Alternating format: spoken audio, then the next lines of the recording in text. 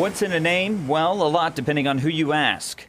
I've been here 37 years, U.S. Bank Arena. Right, right. I don't care what they call it. The privately owned U.S. Bank Arena has carried the same brand for about two decades, but no more as the bank announced it's passing on naming rights moving forward. The branding and signage is likely to go starting next week, though the bank is expected to have some kind of presence as part of a three year agreement. As far as a new name, The 513 Arena. Yeah, I like that. I think uh, something that I would be that would be interesting would be to give it a name that is not a brand name, like you know a famous person from Cincinnati. the future brand isn't clear. There have been disappointments surrounding the aging arena. After all, it's more than 40 years old.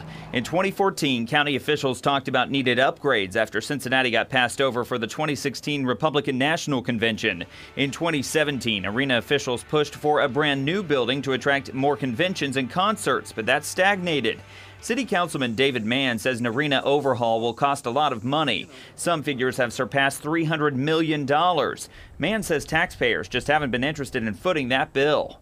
I think the name is the least of the problem. The larger problem is uh, what's necessary to modernize the arena and who might be willing to pay for it.